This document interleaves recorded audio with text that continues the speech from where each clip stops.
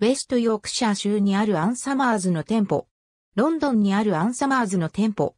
キングストンアポンハルのホワイトフェアゲートにあるアンサマーズの店舗。アンサマーズはイギリスで創業した多国籍企業で、もっぱらセグやランジェリーを扱う小売店をイギリスをはじめ、アイルランド、チャンネル諸島、スペインに合わせて140以上の店舗を繁華街に展開している。2000年にはニッカーボックスのブランドを取得し、こちらでは着心地の良いフェミニンな下着であることを強調しているが、本体のアンサマーズのブランドでは、セクシーなスタイルが強調されている。2007、2008年度の年間総売上高は1億1730万ポンドであった。アンサマーズという社名は、男性である創業者、キム・カボーン・ウォーターフィールドの女性秘書だったアニス・サマーズの名に由来している。彼女は1940、アンサマーズの創業後、ほどなくして、カボーン・ウォーターフィールドが会社を去ると、彼女もこれに従った。その後は、ローマから2時間ほど離れたイタリア中部ウンブリア州に暮らしていたが、2012年10月に癌で亡くなった。アンサマーズの最初の店舗は、1970年にロンドンのマーブルアーチにアダルトグッズショップとして開店し、ほどなくして6店舗を構えるようになった。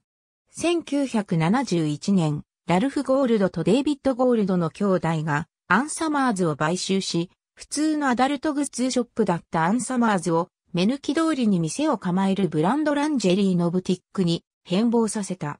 1981年、デイビッド・ゴールドは娘のジャクリーン・ゴールドを責任者に据えてパーティープランのコンセプトを打ち出した。アンサマーズのすべての店舗の運営は、サリー州、ホワイトリーフの本部によって統括されており、2010年12月、現在、アンサマーズは、イギリス、アイルランド、チャンネル諸島、スペインに合わせて144店舗を構えている。各店舗では、ランジェリー、下着、化粧品、水着、製具が販売されている。通常のアダルトグッズショップとは異なり、アンサマーズは女性客を対象とする戦略をとっている。アンサマーズが独占的に扱っているラビットバイブレータ、ランパントラビッツは14種類に及ぶ様々なタイプのものが用意されており、年に200万個を売り上げるという。ランジェリーブランドとしては、日本のピーチジョンやアメリカ合衆国のビクトリアズシークレットのようなものと紹介されることもある。パーティープランはジャクリーン・ゴールドの主導で1981年に導入されたホームパーティー商法である。当初、アンサマーズが開くパーティーは、西具の店頭展示への規制をかいくぐるためのマーケティング戦術であったが、たちまち人気を博し、今では7500人以上がパーティーオルガナイザーとしてアンサマーズと契約しており、サリー州の本部からの指示で活動をしている。イギリスでは毎週およそ4000回のアンサマーズパーティーが開かれている。アンサマーズのパーティーの参加者は女性限定とされ、個人宅などの非公式の場でセーグやランジェリーのプレゼンテーションを行う。また、カタログの詳細な説明やパーティーを盛り上げるゲームも組み込まれることが多い。アンサマーズの事業はアダルト向けという性格を持っているため、法的にも社会的にもしばしば強い反発を受けてきた。例えば、2003年には、それまで従業員募集広告を禁じていた、ジョブセンターに対する法廷闘争に勝利し、また、広告基準局に対してなされた広告ポスターに関する苦情申し立てについては、却下を勝ち取った。アンサマーズは、広告に関しても批判に直面してきた。許可を得ずに女王を広告に登場させたとして、バッキンガム宮殿から苦情の手紙を送られたこともある。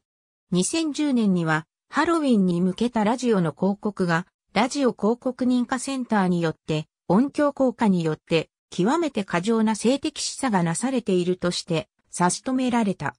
2011年にはマークススペンサーの広告のパスティッシュを使った広告キャンペーンに対し、マークススペンサーが法的措置も辞さないと警告し、キャンペーンが取りやめになった。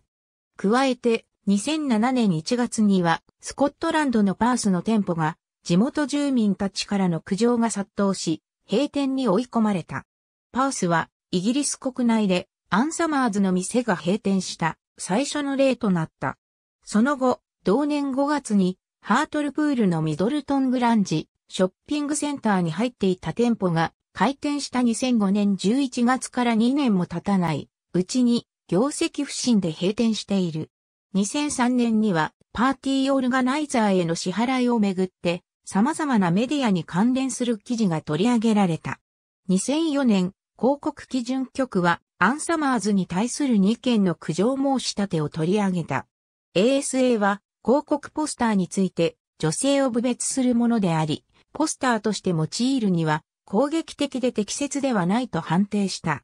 また、ナーサリーライムの使用については、子供の注意を引くものであり、掲載された媒体には適切ではないものであったと判定した。